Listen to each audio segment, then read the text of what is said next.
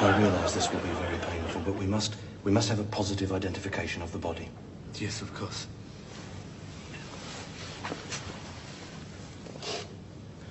No, I, I've never seen that woman before.